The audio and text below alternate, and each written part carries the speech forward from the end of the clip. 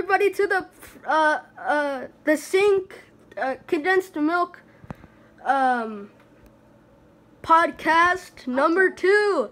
Take it away, my friend. Shouting mute nine seven zero zero.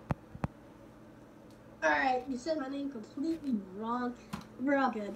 But, you know, we're just to talk about how some of the Marvel movies or the sh- and the shows are kind of getting, you know, kind of getting weak. I know, right, bro? Like the only thing that got them funny is that like the like I don't know that movie that they made. Yeah, like, some of them are dookie. Like, I mean, I mean, WandaVision was One of his was okay. okay. Yeah, it was okay. The new Falcon and the Winter Soldier was just utter dog, you know. They don't know how to, you know, React. Yeah, you know, like his shield got Oof. out by a freaking chair. Like, dude, how?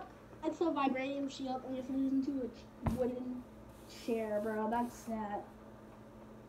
But you know, that's how this it is this day is. What was after that? I don't know, Yeah. bro. Let's talk about how, bro. Okay.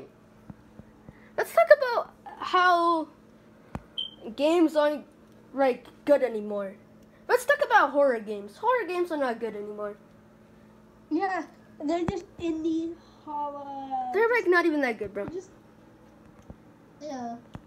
Steam isn't that good too, dude. Like, The new Dead Spaces, the new like Resident Evils, they ain't even that. They ain't even that good, bro.